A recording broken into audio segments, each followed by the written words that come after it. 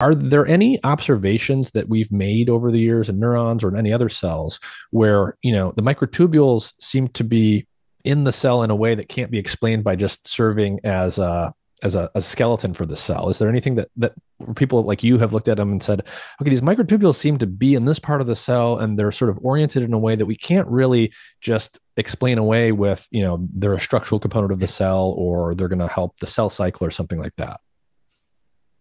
That's a great question again. And um, what's exciting is that, you know, much like the mitochondria that has been, you know, coined as the powerhouse of the cell, and we're starting to see that it does more than that, mm-hmm. the the microtubule kind of got like a bad rap in the sense that it's just structural. Yeah. But it's definitely more than just structural. We see this also in magnetic stimulation.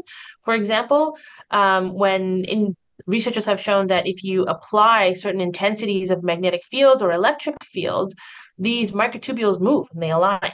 So the fact that they, it's not just that they are there for structure, just for support beams, they seem to be responsive to applied physical signals. Hmm. So that kind of then begs the question, are they moving and providing structure because of environmental signals?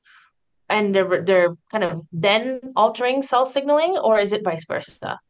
So they they are kind of like a physical antenna to propagate external physical signals, electrical, magnetic have been shown. And now we're trying to see is it photonic as well?